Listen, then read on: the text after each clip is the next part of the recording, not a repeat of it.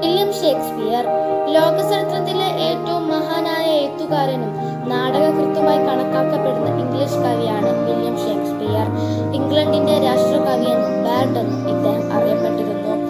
മുപ്പത്തെട്ട് നാടകങ്ങളും നൂറ്റൻപത്തിനാല് ഗീതങ്ങളും ചില കാവ്യങ്ങളും ഇദ്ദേഹത്തിന്റെതായി നമുക്ക് ലഭിച്ചിട്ടുണ്ട്. ജീവിച്ചിരുന്നപ്പോൾ അത്രയൊന്നും പ്രസിദ്ധനായിരുന്നില്ല. എങ്കിലും മരണശേഷം ഇദ്ദേഹത്തിന്റെ പ്രശസ്തി വളരെയധികമായി വർദ്ധിച്ചു. സാഹിത്യ ലോകത്ത് പൊതുവെയും ആംഗലേയ സാഹിത്യ ലോകത്ത് പ്രത്യേകിച്ചും ഏറ്റവും കൂടുതൽ ഉദ്ധരിക്കപ്പെട്ടിട്ടുള്ള കവിയാണ് ഇദ്ദേഹം.